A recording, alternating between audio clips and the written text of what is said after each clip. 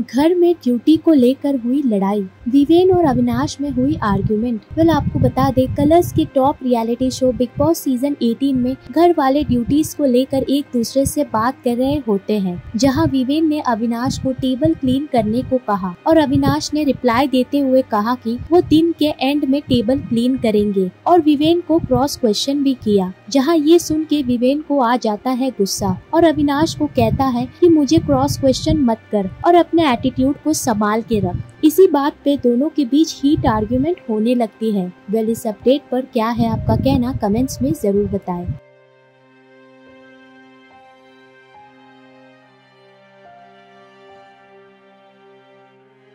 For top serials on sets to personal interviews and fun segments with actors, subscribe to Telebytes right away.